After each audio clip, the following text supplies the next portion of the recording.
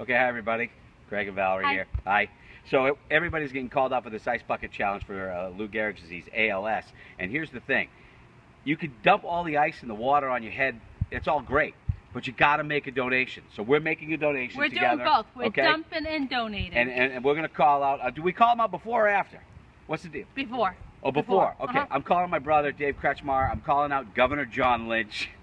And I'm calling out uh, Chris Garrett, and I'm calling out my buddy Dan Clark. Who are you calling out? I'm calling out my niece Avery Kretschmar, my daughter Caitlin Kretschmar, Cameraman. and Megan Davis, who I work with, Okay. and Lorraine Field. All right. That's I, who I'm calling out. I don't know why my bucket is so much bigger than Valerie's is. More to cover. right, you ready? All right, you ready? Here we go. Ready? All right, here we go. No, no, no. You do it to yourself. You ready? Yeah, ready, Right, go. go.